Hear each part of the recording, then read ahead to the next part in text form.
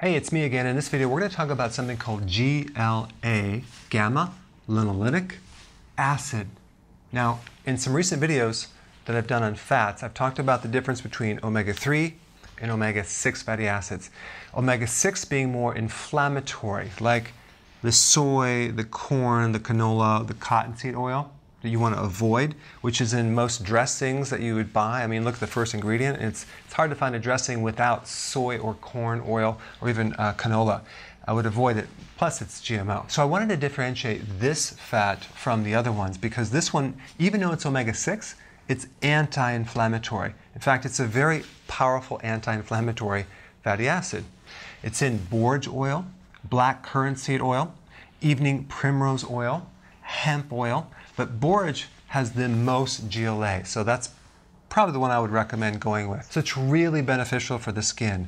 Eczema, psoriasis, flaky skin, various inflammatory conditions like rheumatoid arthritis, osteoarthritis, and inflammation in your arteries. One of the big problems in cardiovascular disease is the inflammation.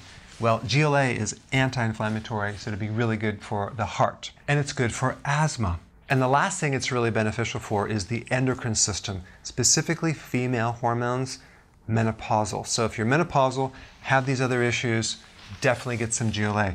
And I also recommend combining this with your healthy omega-3 fatty acids, which is the virgin cod liver oil, egg yolks, of course. Chia seed is very high in omega-3. So if we combine the healthy omega-3 with the healthy omega-6, you're going to be in good shape just to remind you, omega 3 would be like fish oils, nuts, like walnuts, egg yolks, chia seed, all real good.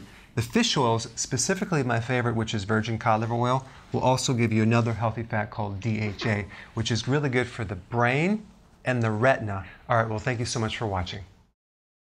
Before you go, real quick, I have a course entitled How to Bulletproof Your Immune System. It's a free course. I want you to take it. And here's why.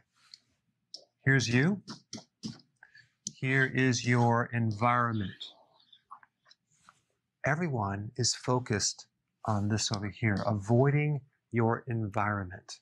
But what about here? What about strengthening your immune system? That's what's missing.